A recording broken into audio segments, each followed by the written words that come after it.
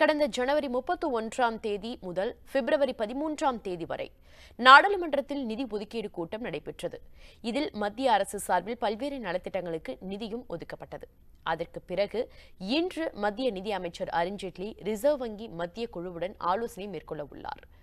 ஒவ்வொரு நிதி ஒதுக்கீடு கூட்டத்திற்கு பிறகும் மத்திய நிதி அமைச்சர்கள் ரிசர்வ் வங்கி மத்திய குழுவுடன் ஆலோசனை நடத்துவார் என்பது குறிப்பிடத்தக்கது. உண்மை செய்திகளை உங்கள் கண்முன் கொண்டு வரும் காவிரி நியூஸின் யூடியூப் சேனலை சப்ஸ்கிரைப் செய்யுங்கள்.